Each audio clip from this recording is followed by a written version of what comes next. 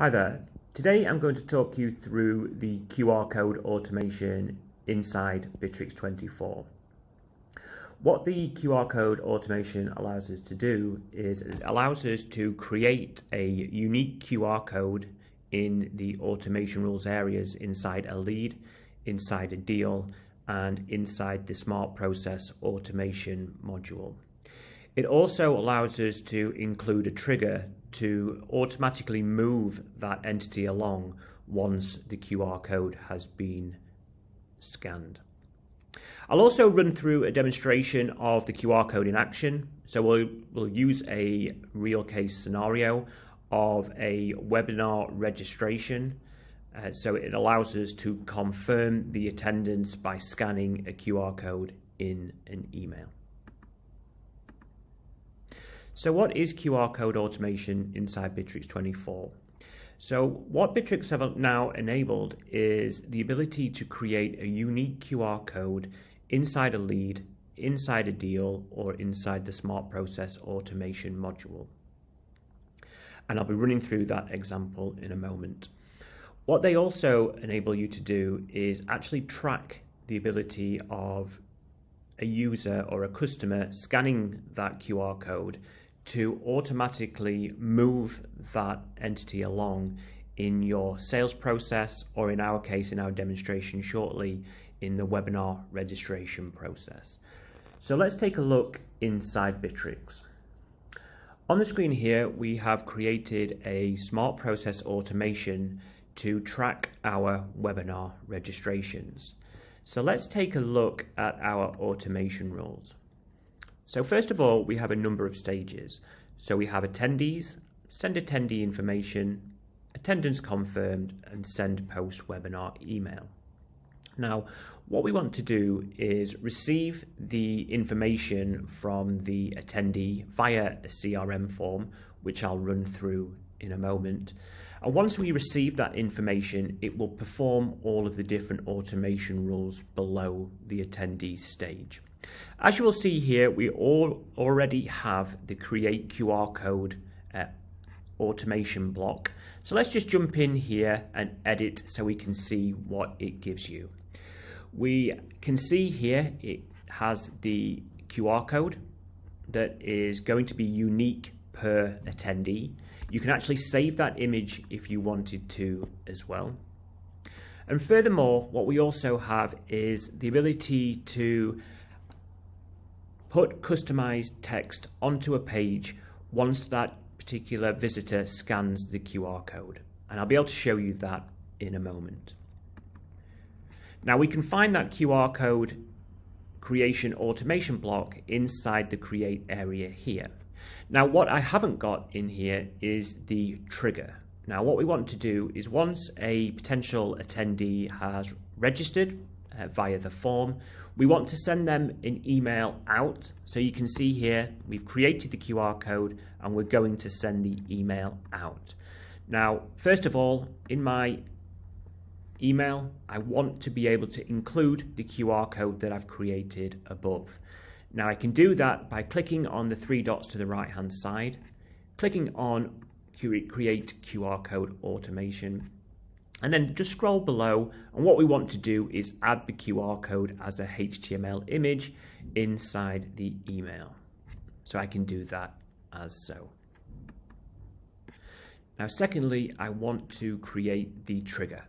Okay, so to click on create and then I want to create the trigger on attendance confirmed because once that user scans that QR code, I want to be able to move the uh, attendee to the attendance confirmed.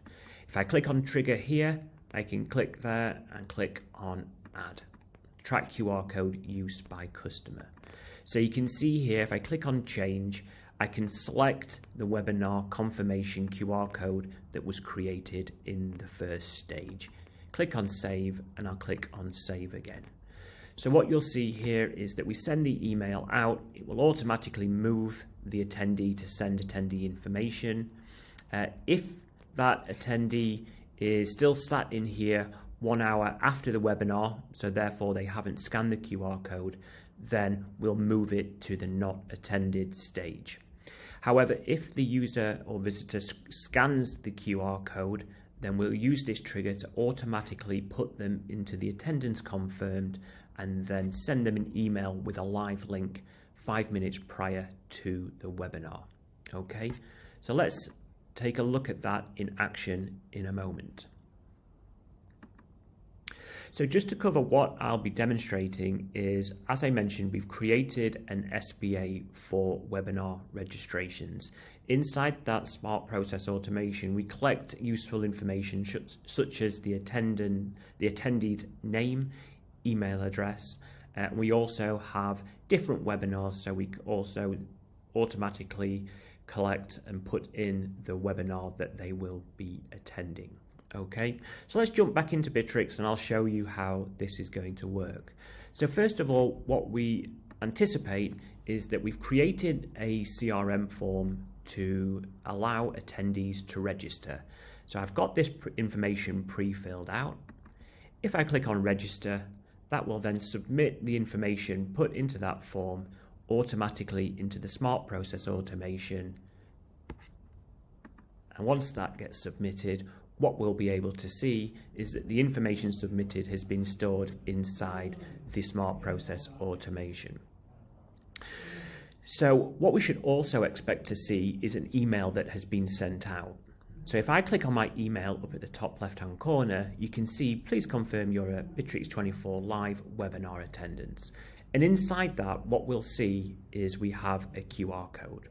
Now let me bring my phone up here and what I'm going to do is I'm just going to scan the QR code. So you can see here, it automatically detects that it's a QR code. I'll click on here and that will bring it up and you'll be able to see on the screen the information that I inputted into the create QR code automation rule.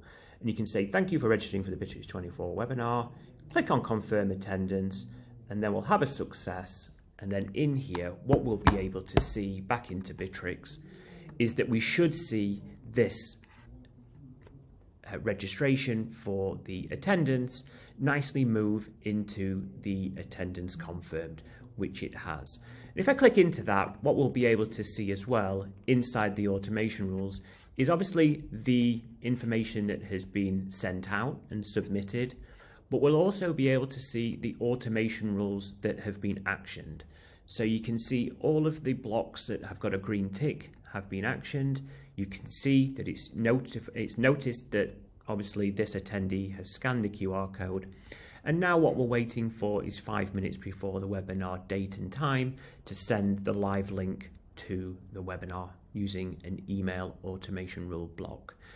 Two hours after the webinar, what's going to happen is it's automatically going to move the uh, attendee to the send post webinar email and that will be customized and tailored towards that particular attendee.